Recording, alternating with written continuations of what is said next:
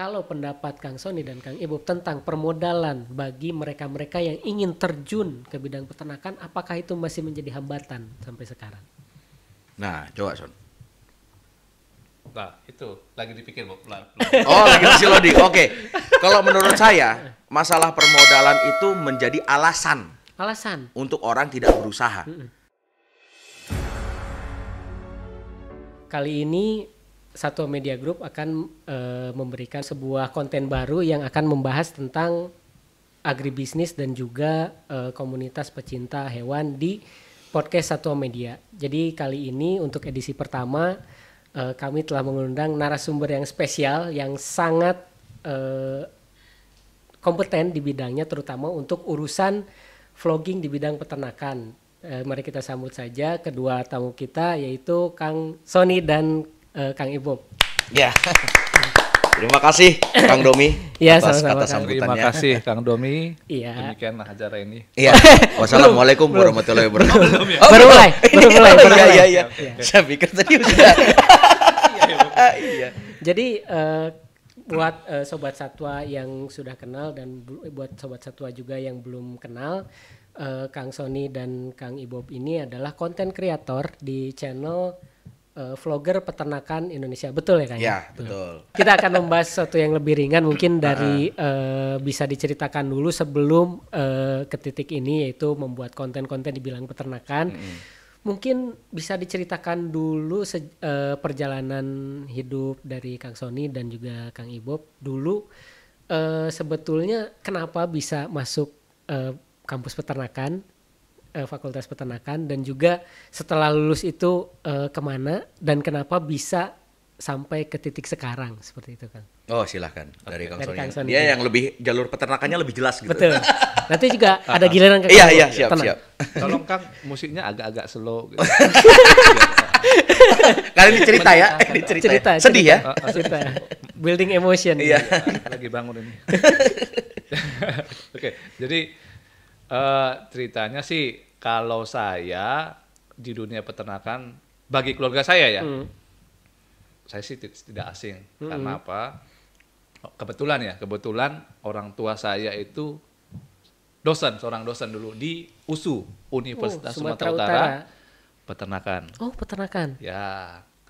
Dan ibu saya Hmm. dulu usahanya poultry shop. hmm. Jadi dari kecil saya emang sudah di lingkungan peternakan. Hmm, nah, iya. jadi tidak sesuatu yang baru Hmm. bagi saya ya. Jadi eh, awalnya sih cita-cita saya tidak peternakan, Hmm. kedokteran.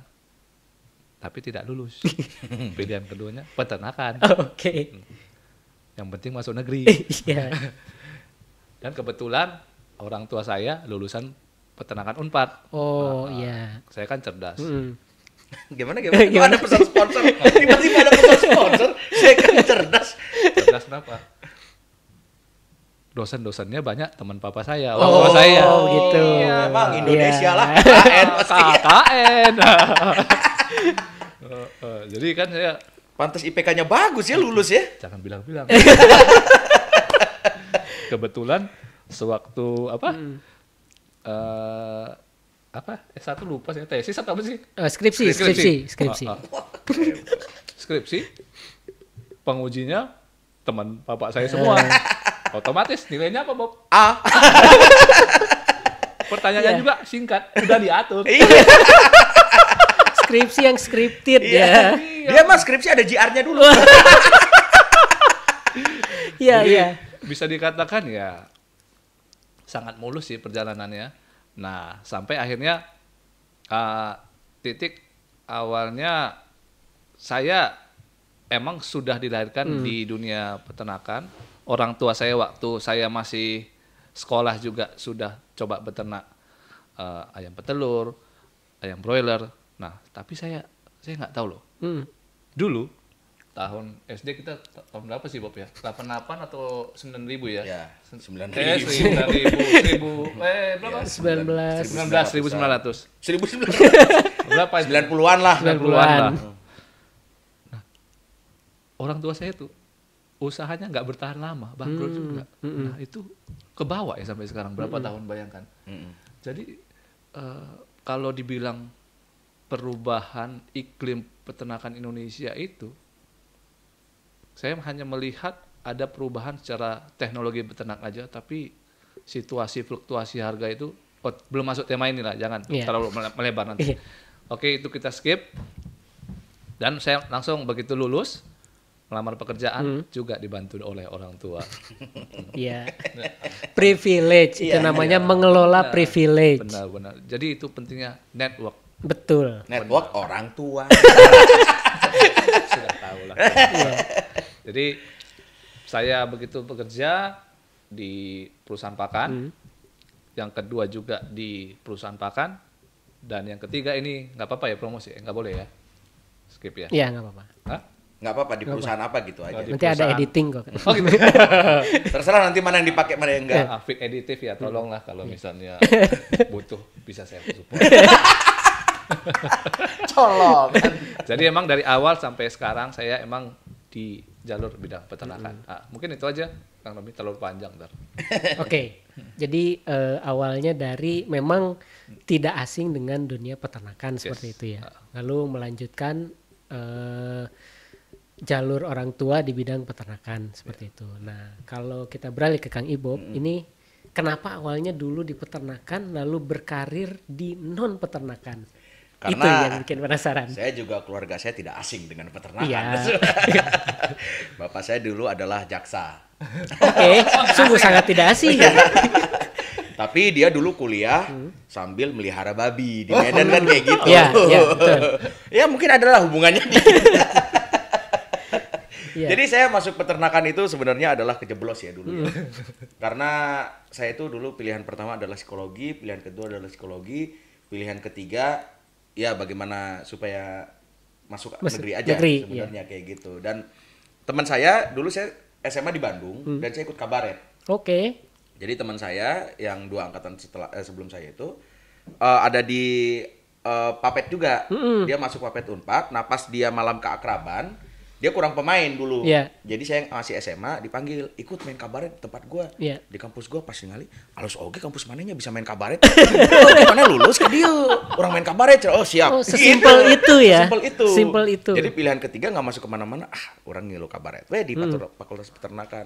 Jadi pertama kali saya masuk Fakultas Peternakan, yang saya masuki adalah lingkung seni Sunda Unpad. Ya, Lises. Iya, lises. Karena saya pengen ada di lises, saya pengen main kabaret.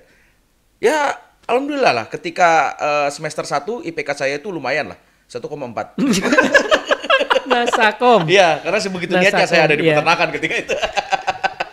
Oke. Tapi akhirnya eh, semakin ke sini, semakin ke sini kan saya semakin mengerti, saya semakin belajar dunia peternakan ya. Akhirnya lulus juga dengan Hmm. IPK yang terbaik waktu itu ya, 2,5. Oke. Iya. Karena itu tahu kan kenapa saya tidak memilih bekerja di peternakan. Iya. Tidak ada yang menerima itu aja sebenarnya.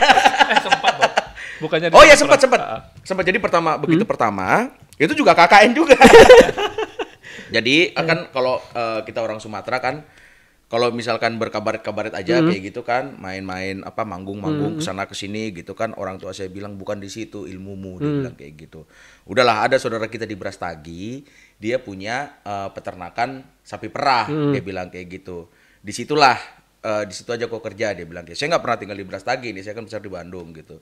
Terus baru ketika saya waktu itu ke Brastagi katanya jadi marketing gitu. Tapi pagi-pagi saya nganter sampel susu ke sekolahan kayak gitu kan. Siangnya pulang habis itu nganter lagi, nganter lagi asa jadi kurir susu saya jadi gitu. Bukan marketing jatuhnya Bukan marketing. gitu, iya. Iya. Saya bilang ke orang-orang dulu bahwa saya jadi eh, marketing gajinya dulu 2 juta, saya bilang kayak gitu. Padahal mah sebulan 750 ribu. Memang kurir sebenarnya Iya. saya itu. Oke. Gitu. Jadi ya itu pertama kali terus abis itu papa saya ngelihat kayaknya kamu bukan di situ deh. Dia bilang kayak gitu. Memang dari awal tidak dong.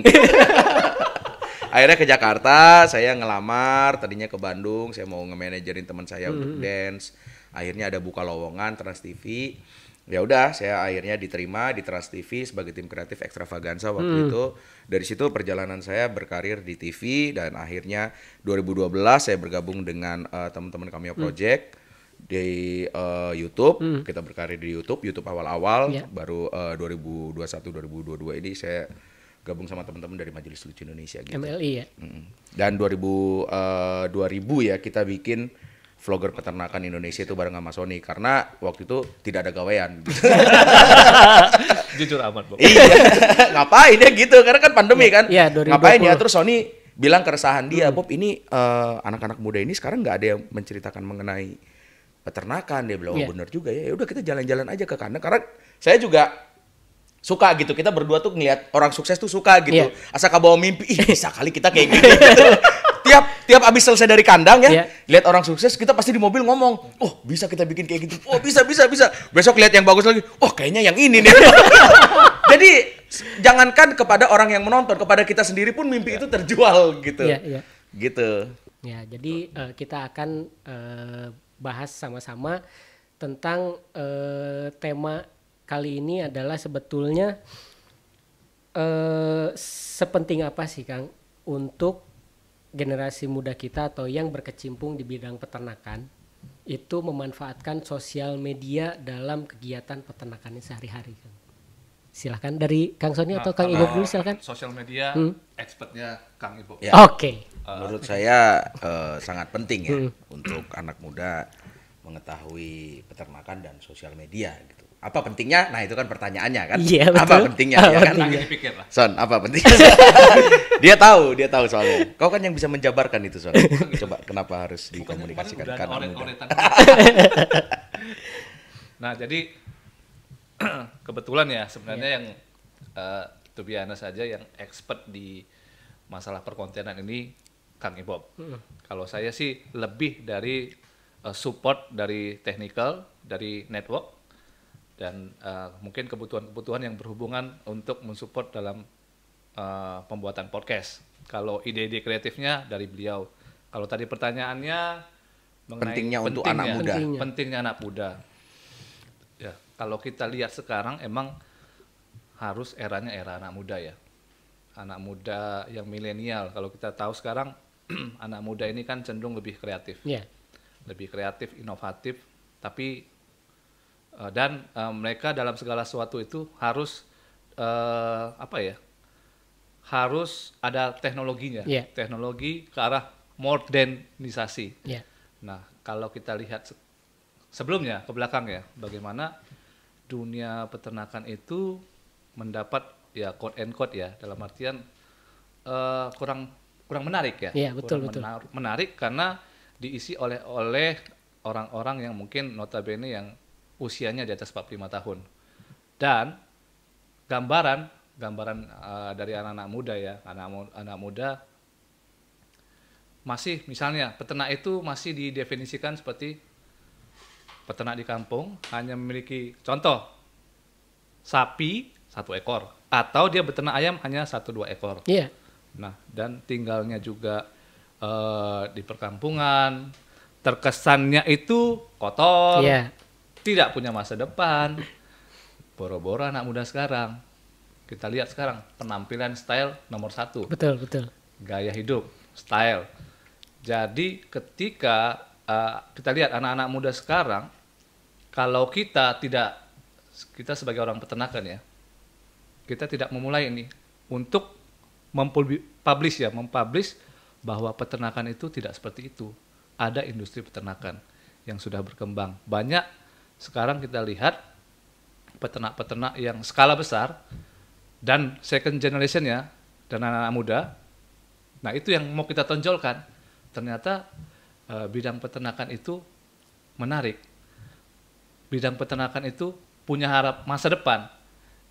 Nah, hubungannya harus bagaimana hubungannya bagaimana kenapa harus ya dengan medsos? Ya, saya pen- saya kira media yang paling efektif ya, efektif, efisien dalam untuk kita mempublish itu ya harus lewat sosial media dan itu harus dimulai dari orang-orang ya minimal punya Ya. latar belakang sarjana peternakan atau dokter hewan Ya, betul, betul. karena ya kita tahu bersama ya untuk sektor peter- peternakan ini kan sebenarnya sangat luar biasa. Pa- Masa pandemi yang kemarin itu yang kita sudah laluin lah. Yang bertahan itu saya rasa salah satunya sektor pertanian, subsektor peternakan salah Iya. satunya. Karena itu merupakan sumber pangan ya, sumber pangan. Nah, kalau dilihat dari dari latar, uh, cerita yang tadi saya sampaikan bahwa bisnis peternakan ini tidak ada matinya. Benar nggak ya? Betul, betul. Nah, ini yang harus kita terus suarakan. Nah, itu latar belakang saya dan Ibob. Nah, kita coba mulai nih dengan uh, ya cara sederhana, Ya. sederhana. Bagaimana kita mau tampilkan bahwa peternakan ini harus terus diangkat Ya. dengan stylenya kita. Ya, karena eh, seperti kita ketahui juga di lapangan mungkin eh, kalau kita sering main ke lapangan itu banyak dari peternak-peternak kita sekarang yang apalagi yang sudah melek teknologi dan eh, melakukan investasi besar-besaran itu justru bukan dari kalangan peternakan ya Kang ya. Iya. Jadi banyak dari orang-orang yang memiliki dana yang cukup besar, mereka tuh orang yang di luar peternakan memandang bahwa sektor eh, peternakan, apalagi khususnya di perunggasan itu sebagai lahan investasi seperti itu ya Kang. Jadi sangat sayang sekali kalau misalkan generasi penerus di bidang peternakan tidak mau melanjutkan eh, usaha di bidang peternakan. Benar sekali. Ya, sebelumnya mungkin buat yang belum tahu, eh, Kang Sony dan Kang Ibob ini merupakan eh, salah satu eh, sarjana atau lulusan dari Fakultas Peternakan, betul ya Kang? Ya, Ya, betul. betul.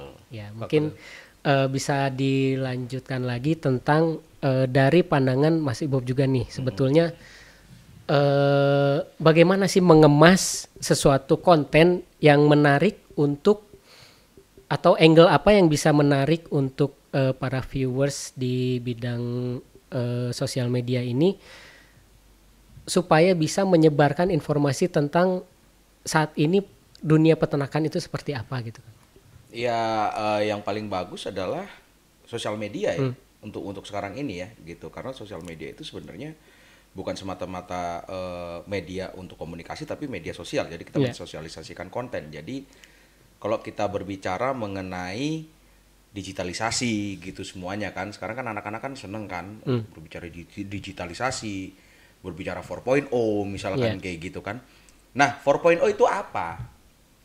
Apakah 4.0 tadinya majalah saya berbentuk cetak akhirnya sekarang ada di podcast misalkan kayak gitu? Apakah hanya itu? Gitu. Itu kan itu kan hanya sebagian kecil dari langkah tapi kan intinya adalah industri gitu. Nah yang tidak pernah dibicarakan di dalam digital dunia digital ini adalah industri dari peternakan itu sendiri. Ya. akhirnya perputaran uangnya itu tertutup dan tidak ada yang mengkritisi gitu. Karena tidak dipublikasikan Ya. gitu. Setiap langkahnya tidak dipublikasikan. Nah, itu yang kita coba lakukan sedikit demi sedikit memberitahukan kepada eh, teman-teman dari generasi-generasi yang sekarang kayak gitu kan. Supaya mereka juga tahu bahwa bahwa ada loh industrinya ini loh gitu. Kenapa saya bilang banyak tidak dipublikasikan? Karena di dalam laporan eh, apa tuh analisis dari dari lembaga yang biasanya kalau meneliti itu apa?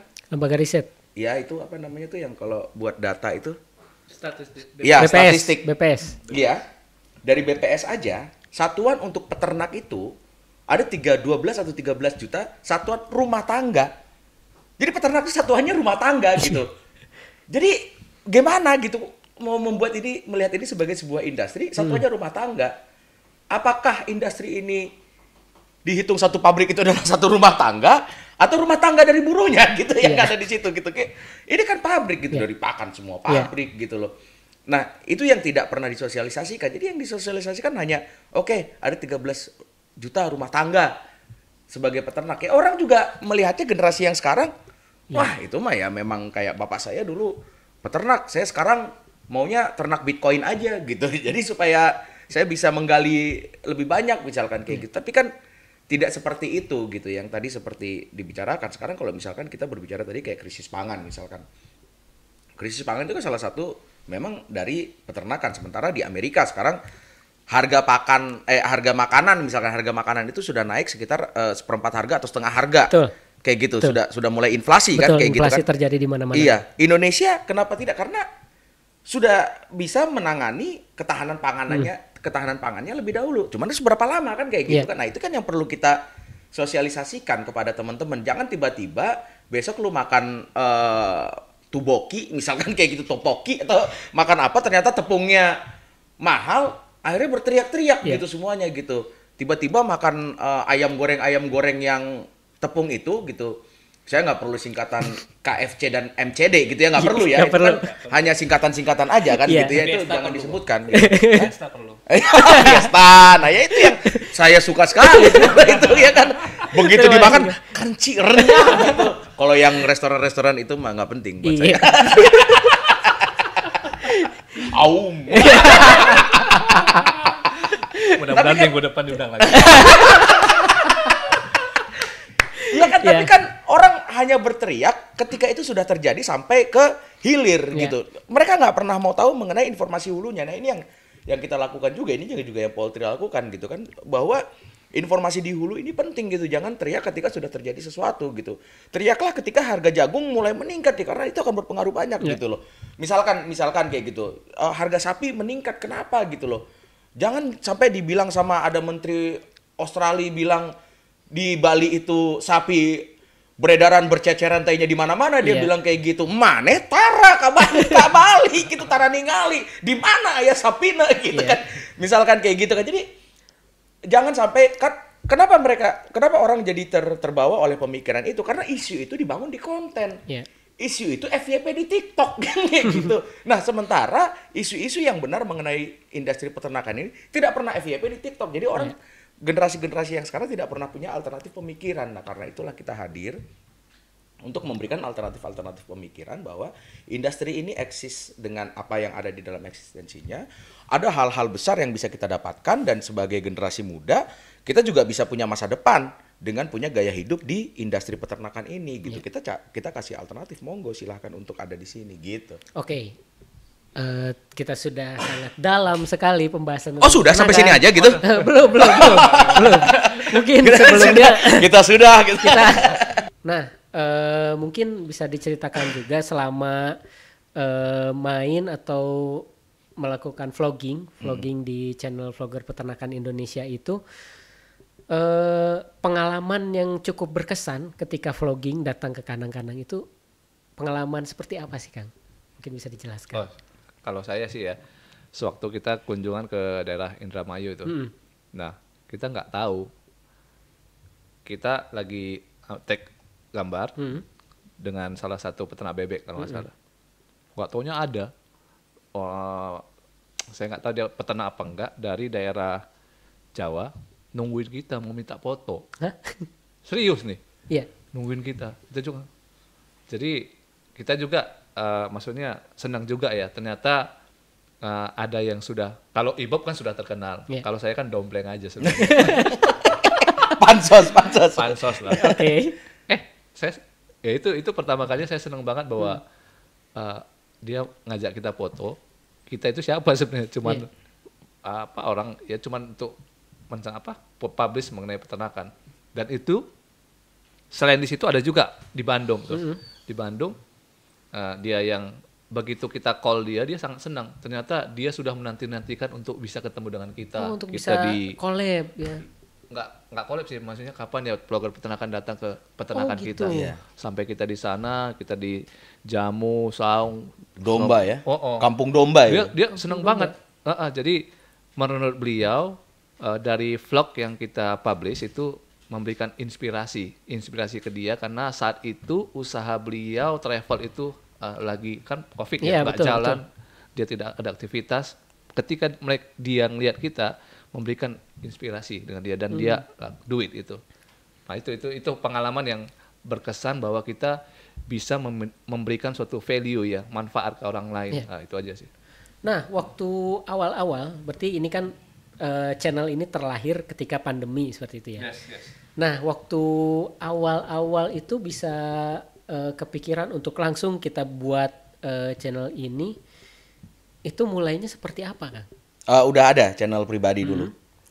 Oh, jadi berawal dari channel Mm-mm, pribadi. terus baru kita bikin uh, playlist untuk misalkan uh, vlogger peternakannya gitu. Jadi memang kita bikin uh, khusus playlist untuk untuk vlogger peternakan gitu Iya. jadinya. Uh-uh. Dan waktu dulu, waktu awal bikin vlogger peternakan Indonesia itu, eh, sebetulnya nyangka nggak bisa sampai sebesar ini atau misalkan ada prepare apa nanti kita akan seperti ini ini ini ini dalam jangka waktu panjang kita akan targetnya ke sini ada sampai ke arah sana nggak Ya ada sih kita kita udah udah bicarakan eh, untuk karena kan eh, teknis ya itu ya ada ada ta- thumbnail, ada penjudulan, taggingnya bagaimana gitu, terus kira-kira traffic yang bagaimana yang akan masuk nanti gitu dari situ.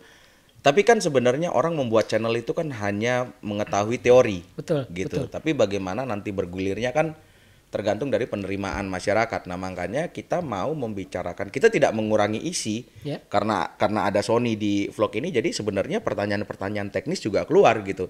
Dan dibahas eh, secara teknis oleh peternaknya pun ya kita bahas juga gitu. Tapi unsur-unsur ringan dan unsur-unsur kita bercandanya kayak gitu tuh nggak hilang gitu. Iya. Jadi eh yang kita mau sih orang-orang mengetahui ilmunya tapi tidak merasa digurui tapi mendapatkan inspirasinya gitu. Nah, dari situ kan kita bisa berpikir orang-orang bagaimana aja yang akan terjal- terjaring dan eh, tagging apa aja dan thumbnail yang bagaimana. Nah, tapi secara teori. Tapi ternyata eh, ada satu video per, kedua ya. Satu video kedua yang kita bikin itu lumayan bagus trafficnya sampai hari ini tuh ada 500 ribu penonton. Kalau buat kita yang waktu itu masih eh ya di bawah 10 ribu lah, di bawah 5 ribu apa waktu kita bikin video itu. Itu eh, bagus. Hah? Di bawah 3000, Bob. Di bawah 3000 ya waktu itu ya. Iya itu eh, ada traffic sebegitu besar. Wah buat kita bagus ini berarti penerimaannya bagus. Tapi penjudulan kita juga satu bulan mendapat 50 miliar dari beternak ayam. Nah kan itu kan memancing pena- penasaran Clickbait. orang kan Iya. gitu kan. Tapi clickbait itu di dalam isinya memang dipaparkan memang dipaparkan betul. memang memang peternaknya ngomong bahwa dia mendapatkan 50 miliar satu bulan gitu. Nah, itu kan eh ya narasumber-narasumber seperti itu yang kita butuhkan lah supaya kita bisa Sultan ya. Iya. Jadi eh, intinya simbiosis mutualisme ya antara Iya. eh, channel dengan narasumbernya seperti itu. betul, betul. Nah, eh, mungkin ada beberapa pesan juga mungkin kepada sobat satwa semua. Sebetulnya apa sih yang harus dipersiapkan ketika sobat-sobat satwa ini eh, ingin membuat atau menduplikasi dan mereplikasi atau terinspirasi lah, terinspirasi dari eh, channelnya vlogger peternakan Indonesia seperti itu. Untuk membuat konten atau untuk beternaknya? Untuk membuat konten. Kalau untuk membuat konten, konten itu kan informasi yang disampaikan melalui audio dan visual. Hmm. Jadi pastikan aja secara audio itu terdengar baik, secara visual itu terlihat baik. Itu aja. Apa pun apa pun caranya, apa pun medianya, apa pun eh, kameranya misalkan saya cuma punya kamera HP, ya pastikan aja misalkan. Tapi suaranya ngegerung misalkan kayak gitu, suaranya nggak bagus, ya pakai teks. Ya. Gitu. Yang pasti informasi itu harus tersampaikan secara audio dan visual. Itu aja dulu. Harapannya kan dengan adanya eh, channel Satwa ini, podcast Satwa Media ini dan juga eh, channel vlogger peternakan Indonesia, tentunya anak-anak muda di generasi milenial X dan Z itu memiliki ketertarikan yang tinggi terhadap dunia peternakan. Nah, eh, kita balik lagi ke tema yang utama tadi. Sebetulnya kenapa sih anak muda peternakan itu tidak mau untuk meneruskan usaha-usaha di bidang peternakan bahkan lulusan dari sarjana peternakan itu cenderung untuk mencari pekerjaan di luar eh, bidang peternakan. Ya, kalau nggak di bank, mungkin di Yomart mungkin.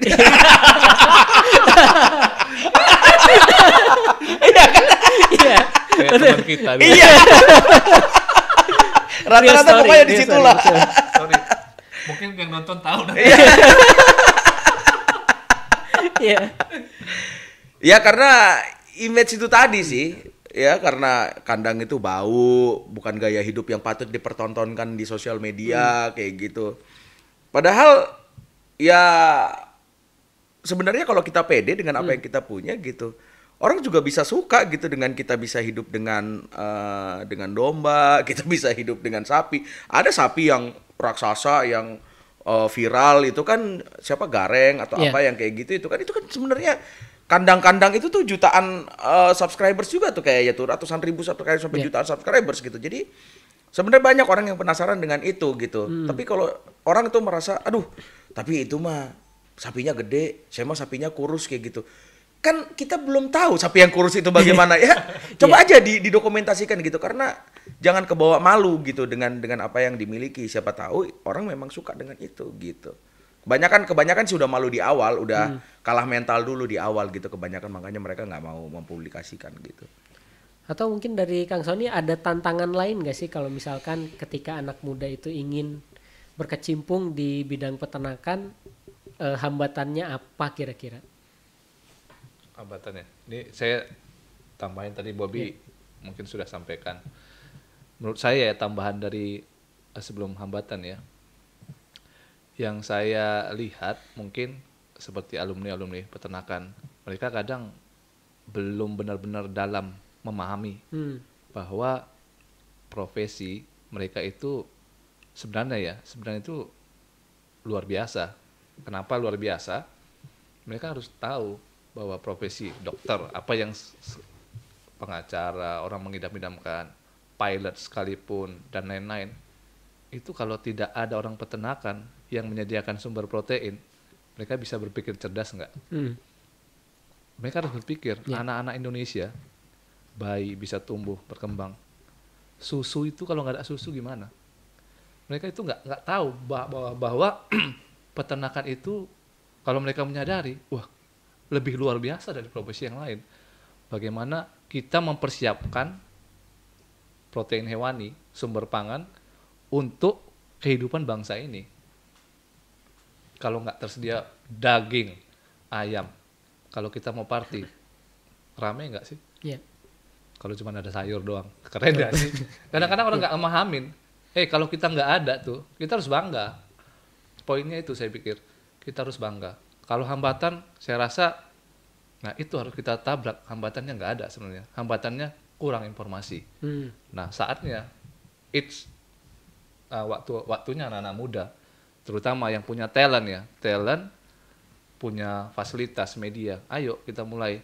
Kita mau sampaikan, eh peternakan itu nggak bisa loh dipandang sebelah mata. Ya. Kalau kita lihat perputaran ke uang di peternakan luar biasa. Teknologinya juga berkembang. Baru eh, kalau kita lihat hubungan luar negeri juga oke kan? Ya. ya si- sedikit menyinggung impor lah. Tapi kan maksudnya hal-hal yang ini harus kita publish bahwa peternakan itu bukan peternakan yang konvensional dulu. Kita juga melek dengan teknologi, modernisasi. Nah, kadang-kadang kan perusahaan-perusahaan besar itu, nah ya seperti inilah perusahaan ti- eh, Pokpan ya. Ya. Sebenarnya kalau mereka open kalau blogger peternakan diajak ke sana, bagaimana kita bisa melihat nih, menyampaikan nih, bagaimana industri pabrik pakan. Orang akan lihat, oh ternyata di sana ada teknologi di sana. Bagaimana dari hulu ke hilir kan mereka punya. Bagaimana di sana eh, kita mengedukasi masyarakat. Kenapa harus? Contohnya ya, contoh ya ini ini, ini bukan iklan. Produk ayam Pak Pokpan, kenapa harus kita makan konsumsi? Karena kita tahu proses proses dari beternaknya seperti apa, penanganannya seperti apa, higienis enggak, sehat enggak, dan selanjutnya pros pasca potongnya disimpan di frozen. Nah, nah itu poin-poin itu yang harus kita sampaikan. Isu or- a- ayam katanya disuntik, Wah, bener apa enggak ayam yang gede, jangan kebanyakan makan ayam goreng, misalnya jangan kebanyakan makan nugget, katanya kayak gitu. Itu kan ada isu-isu seperti itu. Bahkan isu itu masih beredar di masyarakat sampai saat ini ya. Lah ya itu, itu Ya, makanya. itu tugas kita, tugas kita untuk mengedukasi, Mm-mm. mengkanter dengan ya dengan keilmuan kita. Nah, Betul. Ya sebenarnya kalau orang peternakan itu musuhnya cuma satu lah. Komunitas vegan. Iya, betul. Dan vegetarian. Iya. ya kalau tadi dibilang bahwa party itu tidak ada sapi, tidak ada ayam, cuma ada sayur-sayuran, itu berlaku untuk orang-orang vegan. Memang itu yang mereka cari. Peternak-peternak akan mati kalau orang semuanya vegan. Iya, betul. Jadi nggak apa-apa, yang vegan vegan aja lah Iya. gitu. Tolong jangan uh, mengkompor-kompori orang untuk tidak makan ayam dan sapi gitu.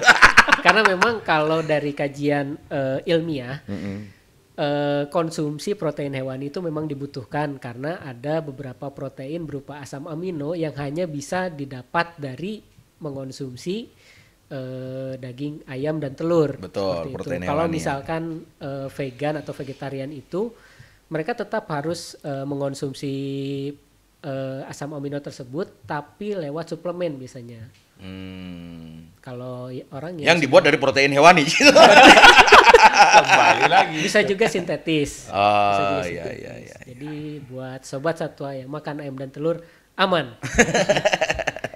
Iya terus banyak banyak banget isu-isu isu-isu di masyarakat.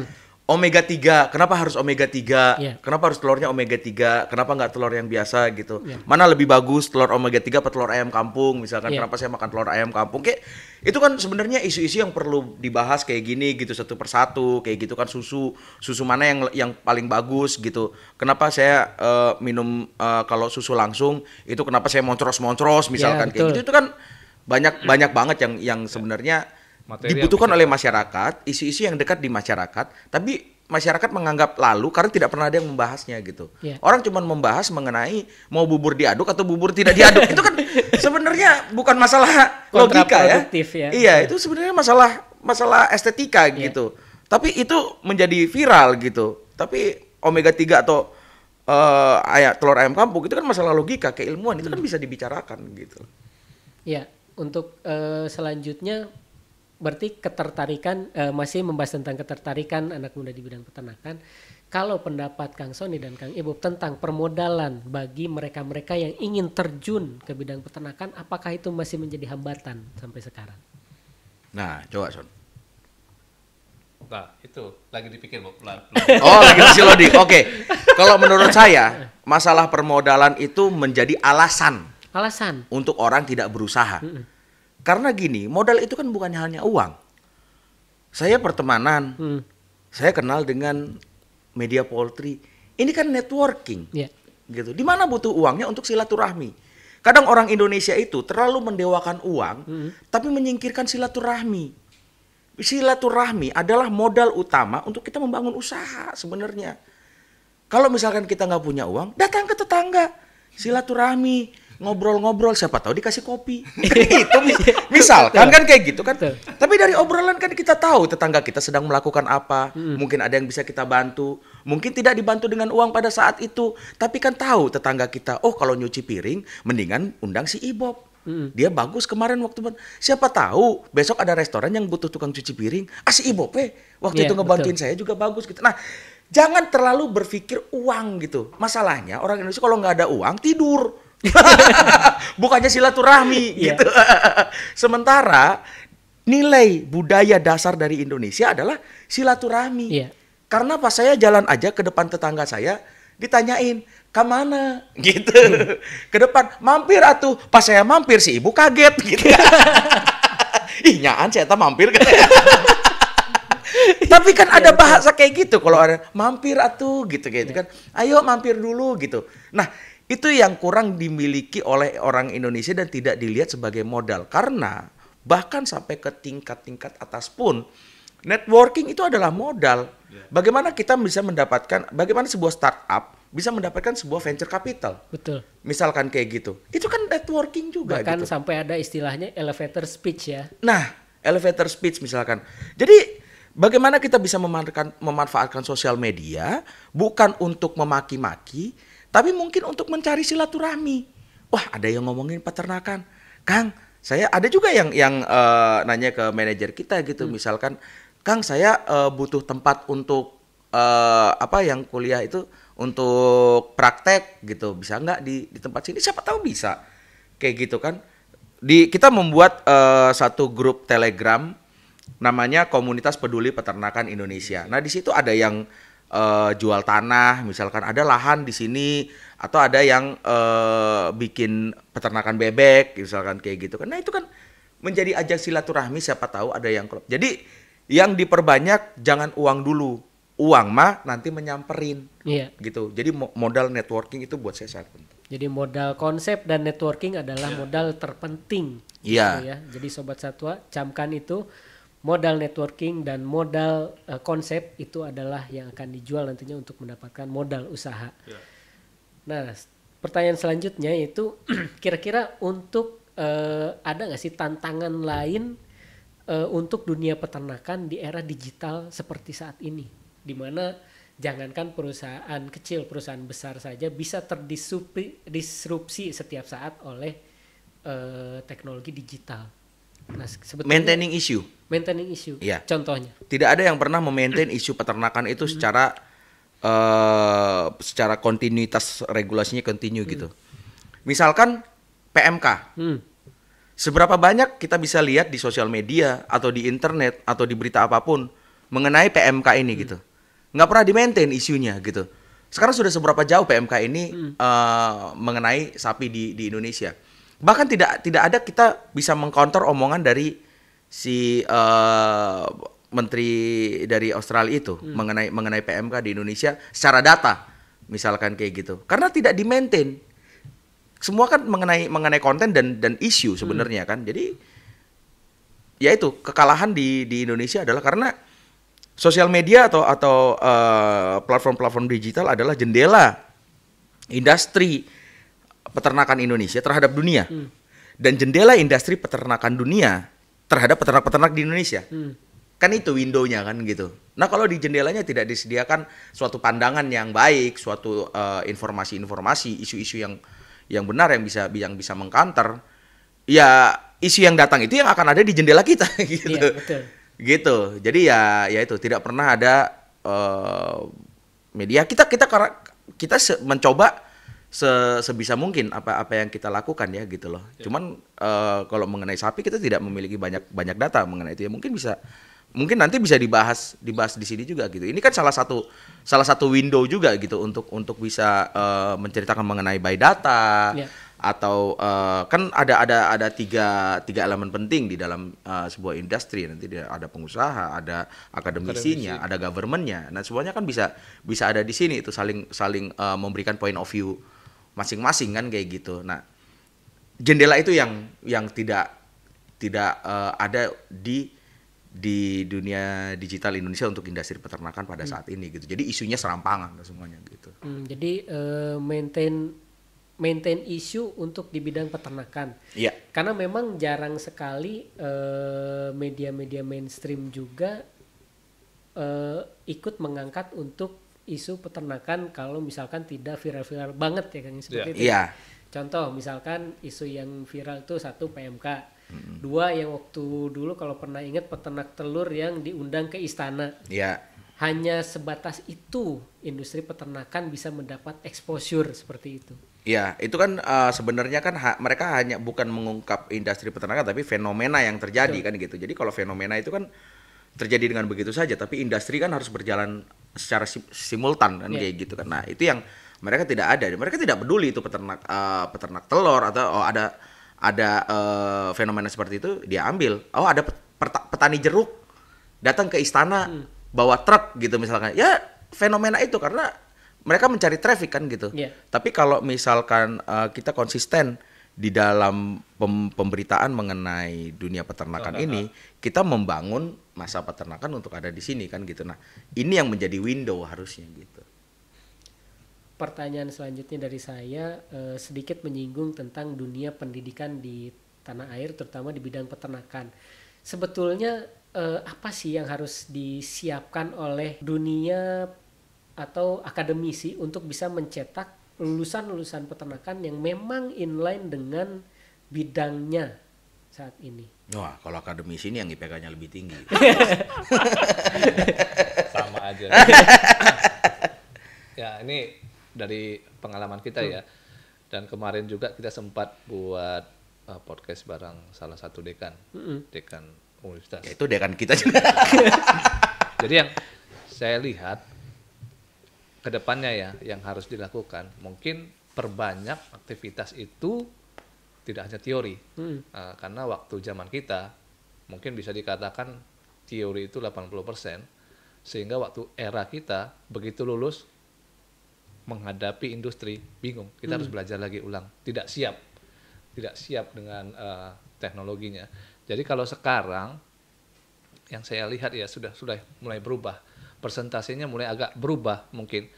Kalau tidak salah 40% teori dan sisanya 60% eh, mahasiswa sekarang itu dikasih kebebasan. Bahkan kalau tidak salah mereka sudah membangun eh, network ya, tidak hanya di dalam negeri tapi di luar negeri.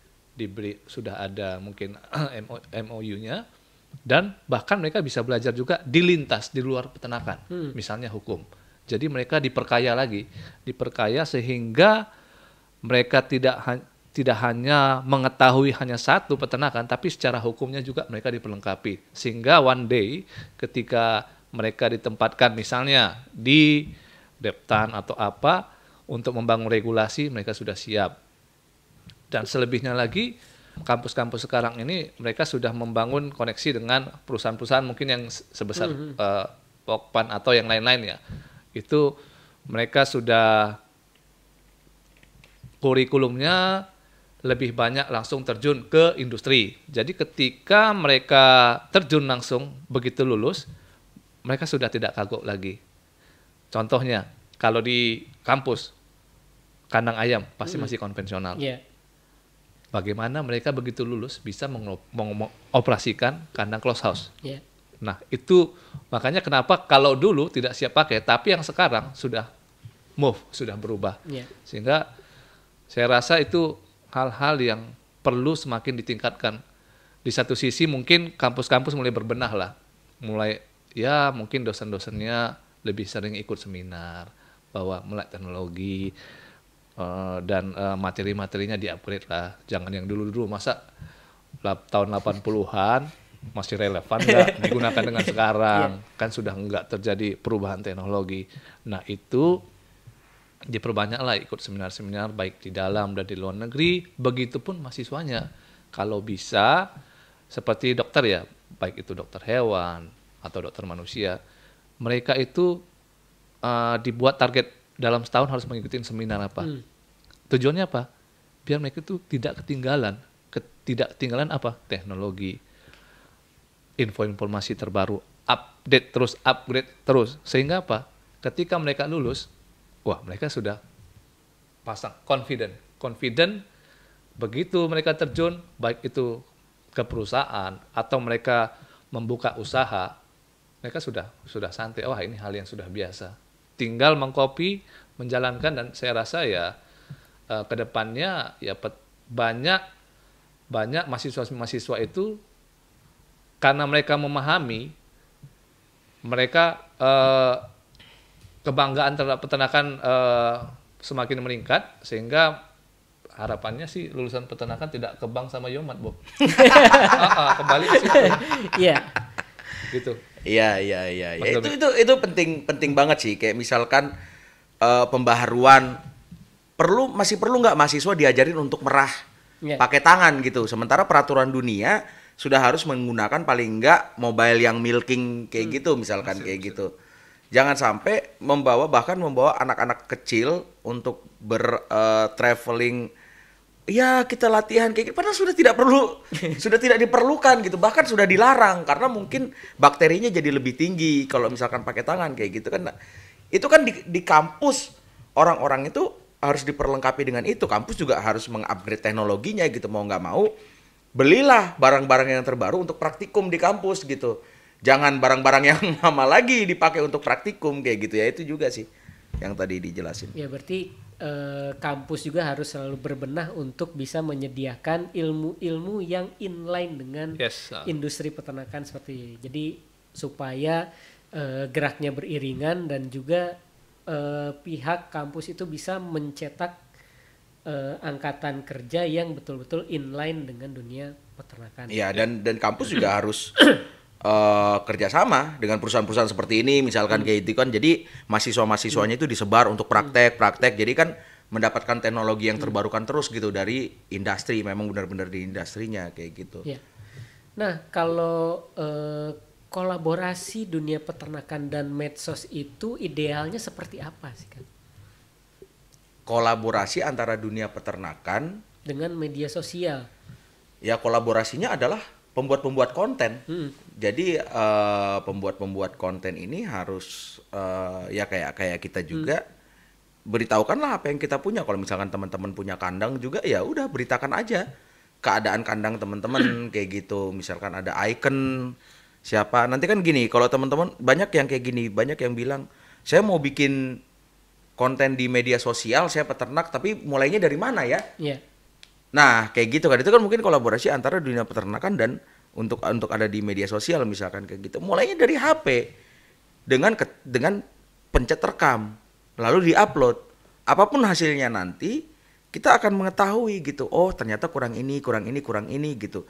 Tapi kalau nunggu punya barang teknologi bagus dulu untuk bisa mengupload, tidak akan mengupload-upload gitu. Jadi kolaborasinya adalah ya informasikan aja kandang kita atau apa pun yang kita tahu mengenai dunia peternakan kalau mahasiswa kuliahnya mungkin kayak Iya. gitu kuliahnya ditaruh aja di YouTube misalkan kan Oh, jadi memang harus dimulai eh, ada langkah pertama dulu ya. ya Dimulai dari pertama, terus nanti trial dan error, baru sampai menemukan formulanya formula yang ha-ha. tepat ketika membuat konten di bidang peternakan. ya karena nggak ada yang bikin eh, konten langsung bagus gitu Atta Halilintar aja ngomong Asyap sekarang malu iya kan Iya. Padahal dia dulu terkenal dengan Jargonnya, Asyapnya, dengan Asyap. Tapi sekarang dia malu ngomong Asyap gitu. Berarti kan ada ada perkembangan di dalam pembuatan kontennya dia misalkan kayak gitu. Nah, tapi kalau misalkan dia nggak bikin Asyap, dia tidak akan sampai seperti itu sekarang ini gitu. Kalau dia mikir ah nanti bikin apa ya, bikin apa ya, sarewe deh gitu. iya, mendingan Jadi- langsung dibikin aja teman-teman. generasi muda eh, semoga sobat satwa nggak ada yang seperti itu Eh, boleh follow your dream tapi bukan dalam arti yang sesungguhnya ya. Ya, bukan dream you follow. jadi follow your dream bukan berarti ketika kita bangun kita tidur lagi untuk kejar mimpi iya, betul, betul. Itu. Ya eh, sebelumnya saya juga ingin tahu ketika membuat konten di vlogger peternakan Indonesia itu apakah pernah riset channel-channel yang misalkan saya eh, lihat channel ini wah saya nanti akan seperti ini dengan modifikasi seperti itu kan Kalau riset sih eh, bukan riset ya, cuman kita ada lihat yang mungkin similar dan eh, stipe-stipe dengan kita dan mungkin kita bisa collab atau kita bisa kerjasama. Itu ada beberapa channel kayak cap capung itu bagus, pecah telur yang kayak gitu ya, yang yang inspiratif inspiratif gitu. Tapi kan kita tidak sama karena kita ada kayak eh, lebih light dan kita punya host gitu berdua di mana itu membuat pembicaraan menjadi semakin ringan. Bukan hanya profiling aja gitu kan yang lain kan hanya profiling aja dan dikasih gambar drone misalkan kayak gitu kan tapi kalau kalau kita kan memang kita adalah orang yang eh, secara personal mau tahu gitu Iya. untuk untuk apa yang dimiliki dan kita mau menggali gitu. Jadi ya bedanya di situ. Jadi kita banyak sekali ins- inspirasi-inspirasi vlog yang kita punya dari dari eh, personal vlog sampai ke eh, hal-hal yang setipe dengan dunia peternakan dan pertanian. Dan eh, mudah-mudahan yang kayak gini sih kita bisa berkolaborasi ya. Jadi eh, industrinya itu kejaga industri konten dan juga isu mengenai peternakan dan pertanian itu simultan gitu Eh, selanjutnya untuk apa sih sebenarnya benefit yang bisa diambil oleh para konten kreator ketika membuat channel tentang eh, dunia peternakan? benefit untuk kitanya ya Ya. sebenarnya hanya kepuasan sih kalau kita kalau dipikir-pikir ya. Sekarang kalau saya pikir-pikir sama Sony kita kan sering ngopi kayak gitu kan. Sebenarnya apa sih yang kita dapetin kayak gitu? Bahwa duit juga kita keluar duit terus kayak gitu. Klien juga misalkan budget satu adalah adalah beberapa beberapa klien tapi hanya bisa nutupin beberapa video. Apa yang kita dapetin gitu? Yang kita dapetin kepuasan. Jadi buat kita eh, ketika kita sanggup dan kita mau dan kita memang mau melakukannya ketika budget itu ada ya kita puas dengan eh, menyampaikan informasi itu yang kita kita kayak kita bilang tadi.